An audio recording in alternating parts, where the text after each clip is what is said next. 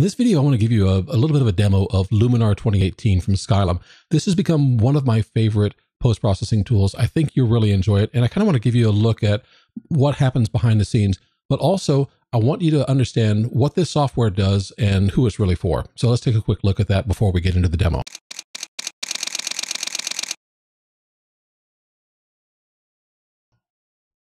So the, obviously the software is designed for photographers and really the purpose is this simple. It's supposed to bring out the best in your photos. And I'll show you an example of what I mean by that.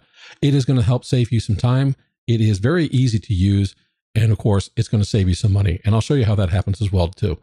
One of the reasons why though is there's no monthly subscription fee. When you pay for Luminar, you have Luminar and you'll get some updates until there's another major release and then there will be an upgrade fee if you choose to do so.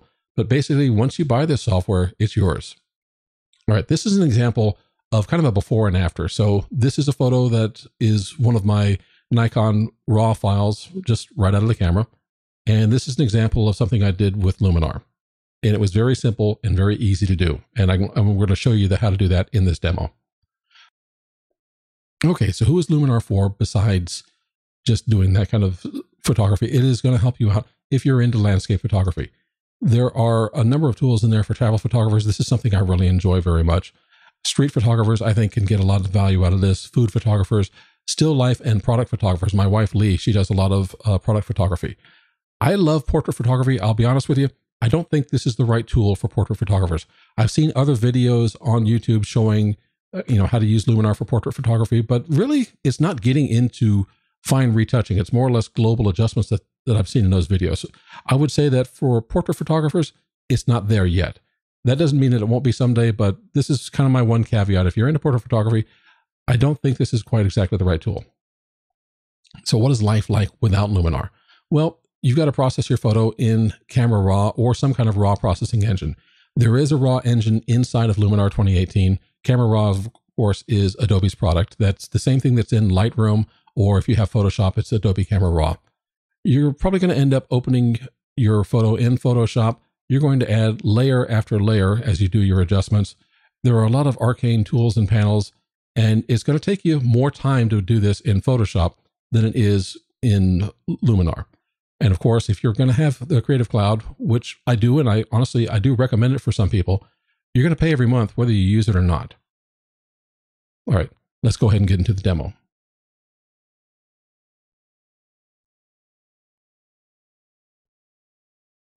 Here we are in the photo that I showed you in the previous example. It's a photo of the United States Capitol, and there are a number of things we can do with it. It's it, it's an okay photo, but it is kind of bland. I mean, look at the sky. There's really nothing going on here. You can see there's some vignetting up in the corners and around the edges as well. Let's start off taking a look over here in the raw develop area, and I'm going to go into the lens area. And just like this, one click lens distortion, and you saw how that kind of fixed it up. We're going to turn that back off, and you can probably see how the changes in the distortion in the image. And you've also got a checkbox for chromatic aberration, which I don't think we really have in this kind of in this particular photo, but a backlit photo is the kind of place where you want to look around for some purple or green fringing that might be happening on your subject. And you can also do some manual control of the lens distortion. And if you want to do vignette, you can kind of pull this up and you can see how that just kind of quickly changed the vignetting that we had in the corner. So that's gone. And now, what I wanted to do with this one is show you how to replace the sky in the background. And this photo is a little trickier than some. It's not just a matter that you need to replace the sky up here, but also you notice that we have a reflection down here. So if I put in a sky up here, I need to have something here as well, or else it's just not going to sell the image as having the same sky. So one of the things we can do is we can go up to the layers and we're going to add a new adjustment layer. And I've got this guy that I'm just going to go ahead and open up and put in here.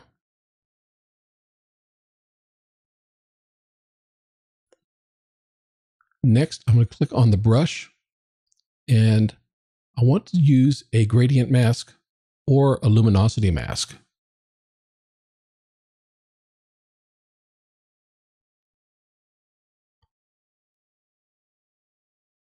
The reason I would use the luminosity mask instead of a gradient, a gradient would be great if I just wanted to pull this down maybe to here and replace that background.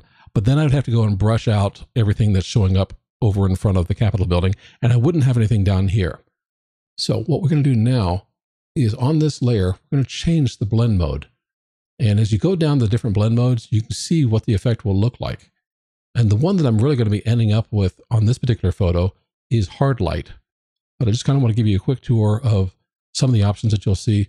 And then when I get down to hard light, that's what I want. So I still have the issue that there is a little bit, you know, over the building, but look, I've got some clouds in my reflection. I've got some clouds back behind the sky. So now I'm going to take my brush.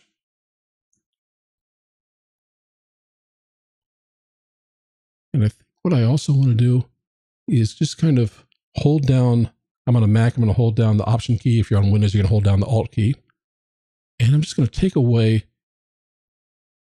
this part of the uh, background that is over my building here.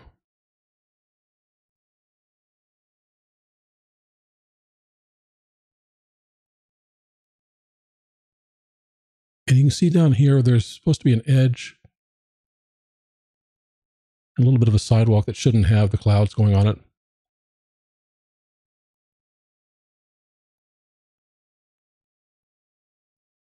And we just want to bring this right back. And probably some of this little edge over here. And I'm going to hit the uh, bracket key to make my brush just a little bit smaller. Still holding down the option key.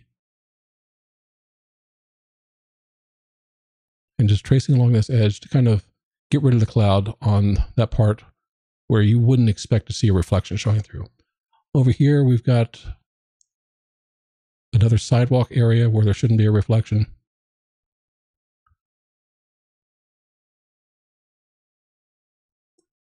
And that seems to have gotten most of it. The reason that I went with the blend mode that I did with hard light is it kind of gave me a nice edge on the top over here. So I didn't have to go in there and try and brush everything in, you know, doing um, fine minutia moves with a brush. I just wanted to be able to do some very broad kind of moves. And that is replacing this guide, we can go ahead and add some filters. And there are some workspaces here. I'm going to choose professional workspace. And there are a couple things we do. One of the filters that I really like is this accent AI filter. And as you bring that up, you can just see how it just really changes and it just really enhances the photo. And that's just happening on the sky right now because I've got that selected. Let's go back and bring this selection over to my foreground.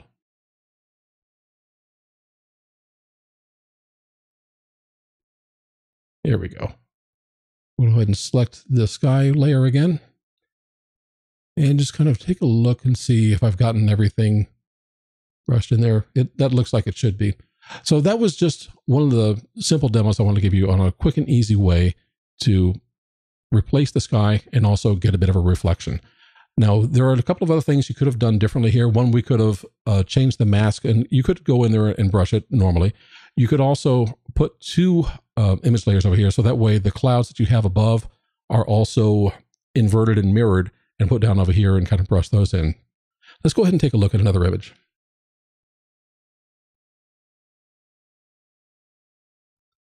Okay, this image is an art structure. You can tell it's a bunch of uh, canoes and kayaks and other little boats. This is at uh, Aria in City Center out in Las Vegas.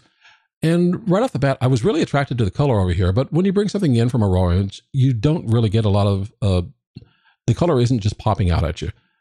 With this uh, tool with Luminar, I can bring up this accent AI filter, and you know what? I can be done just like that, that quickly. That's what I'm talking about when something that will save you time. But we can do more with this. Let's go back over to our lens correction and let's get rid of our lens distortion and I'm going to go ahead and check these just in case there was any chromatic aberration. The transform tool will also allow you to kind of change your angle of view. So if you ever take a build picture of a building and it's kind of leaning back or leaning forward and you want to fix it up, you can use these two, uh, little sliders over here to make that correction. I don't need to do that in this case. So I'm going to go back to the adjustment. And something I typically like to do is I will just kind of bring down the highlights. I'll open up the shadows a little bit and then I'll kind of start playing with my black and whites. I'll add a little bit of clarity in. And I love contrast. So right off the bat, we've got, kind of changed this me give you a little before and after. That's where we started off, and that's where we are now. We've only been playing with this with just a couple of minutes. Honestly, this little AI filter, I was really happy with that. That might have just done it right there. So you have the normal raw processing tools in here, but there are so many more filters that can help you out. So the the Accent AI filter is just a wonderful little tool. It's got it says AI is machine learning. Basically, it, it understands some of the adjustments that a lot of photographers have done, and it's thinking ahead to kind of help you out to make the adjustments that you would probably make yourself. But if you're not sure what to do, it's a good place to start, and then you can kind of backtrack and see if you want to add anything to it. If you're old school, you like playing with curves, you've still got that. In this case, I don't think that's really helping me out at all. One of the things I do like is the polarizing filter. In this case, it's kind of giving me a little bit of darkening and it's going to be pulling away somewhat from the color in there. But if, if you look at the, the top area over here with this, this blown out area of the sky on the top of the building, you can see how that's kind of darkening that up a little bit. But I'm going to pull that back. If you're into doing some color grading, split toning is going to give you some options as well as so will the hue and saturation that uh, sliders that you typically would have in most raw engines. And oh, but my favorite these days is working with LUTs, or in other words, lookup tables. So we can go over here and choose a LUT, and you kind of end up playing with these things and figuring out what look you really prefer for anything in a given uh, image. In this case, I'm going to try the Manhattan one, which is probably going to change that a little bit differently than I want to. And I'm going to pull back the amount a bit and add a little bit of contrast. So we can take this little eyeball over here and turn that on and off so you can see if you like a particular look from one of the LUTs. And if we want to change that, let's go over here to Genius and see what that gives us. And that's a bit more of a flat image, which is not exactly one of my favorite things. So I'm going to leave the LUTs on this particular image. I think typically what I do with um, using color grading and a LUT like that is mostly if I'm looking for kind of a cinematic look and you want to have something that's just a bit off color. This particular image, because the reason I shot it was because of the color and the brightness and the, and the background that's there with those that building. I, I really like what I've got already, but we can come down here still and add in a little vignette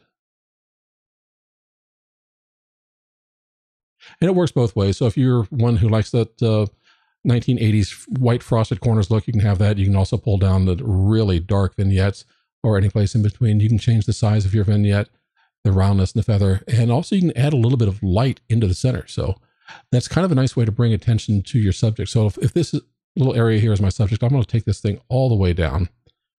I'm going to add a little bit of light to bring that up. And then now I'm going to soften the vignette.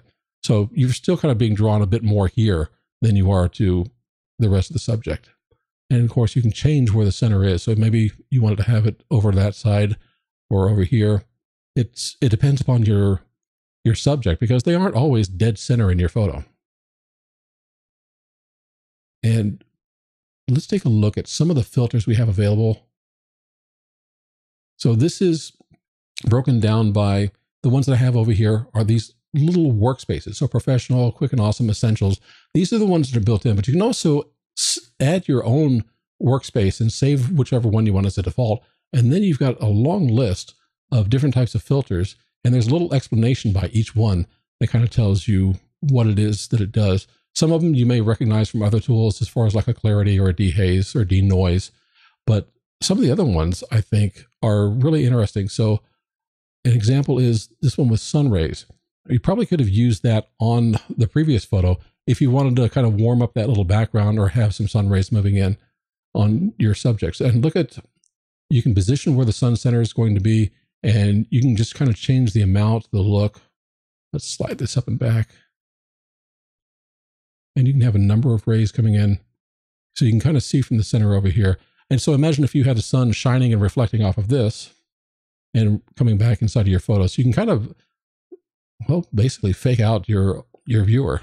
If you want to add a texture overlay, it's just as easy as what I just showed you with adding um, the image on there. And also, you've got a number of other tools down here as we come along. And you can have these little stars. Like if you got a favorite, you know, just mark it as a star. So that way it's easy to find and you can just show one of the ones that are your favorites with, you know, marked with a star.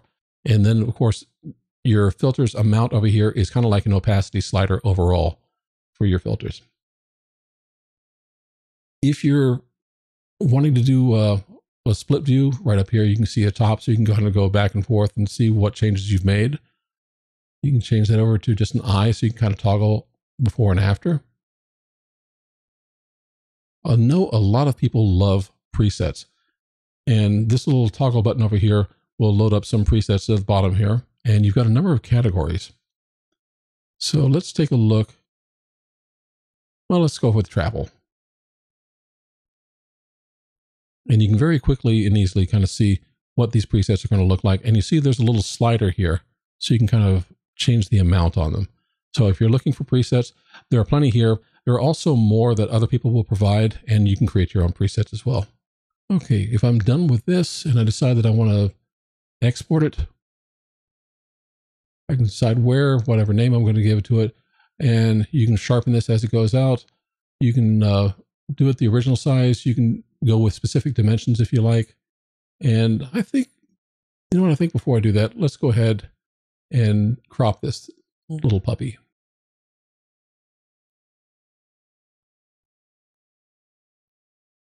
It starts off with free. I typically like a 16 by 9 kind of ratio. And the reason I want to crop it is because this little open space up there is just bothering me. It's not helping out the photo at all. So I'll go ahead and crop that down.